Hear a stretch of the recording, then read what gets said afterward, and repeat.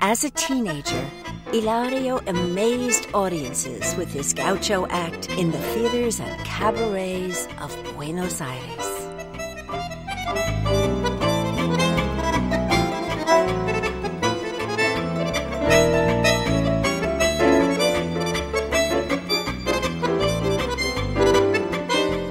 Nightlife in the cabaret was hard work.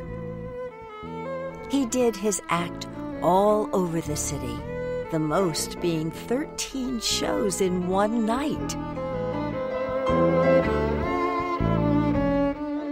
He used the money he made from his act to help his family.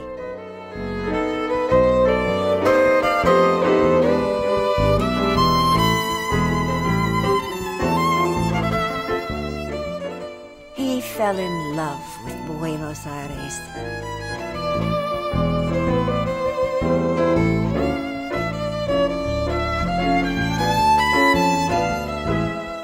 He decided to work full time on the stage at 14 years old.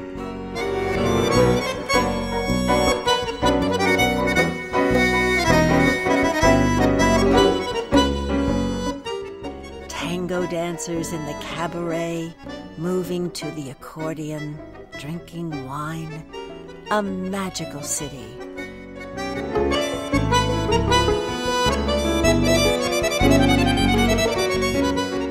Amor, passion, and life.